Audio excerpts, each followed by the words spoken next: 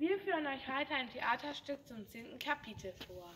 Ich spiele Beppe und den ersten der Grauen Herren. Ich spiele Momo und den Erzähler zusammen mit Marisa Lüten. Und diese Schildkröte hier spielt Cassiopeia. Ich spiele Gigi und den zweiten Grauen Herrn.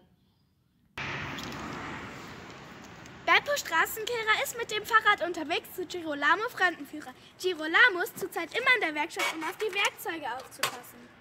Beppo klopft sehr laut an die Tür der Werkstatt. Gigi schreckt auf. Wach auf! Was gibt es denn so Wichtiges? Momo! Momo! Sie, wurde von den Herren entführt. Woher weißt du das? Beppo fängt an zu erzählen. Zwischenzeit führt die Schildkröte Cassiopeia Momo weiter und weiter weg. Ich komme nicht weiter, Cassiopeia. Hilf mir! Die grauen Herren folgen ihr. Plötzlich können sie nicht mehr weiterlaufen. Was ist das denn jetzt? Wir können nicht mehr weiterlaufen. Ich verstehe das auch nicht. Ich rufe jetzt die Zentrale an. Okay, aber wir müssen uns beeilen. Hallo, hier ist Agent ARG 12G.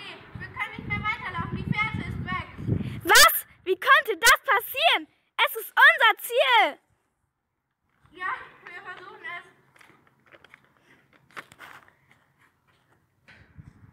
Tatsächlich, es funktioniert wirklich. Momo und die Schildkröte sind in der Zwischenzeit schon viel weiter gekommen. Plötzlich ist Momo in einer Tür verschwunden. Das war unser Theaterstück. Wir hoffen, es hat euch gefallen. Kamera Olivia Lü. Bearbeitung Deborah Seibering. Regie wir zu tun.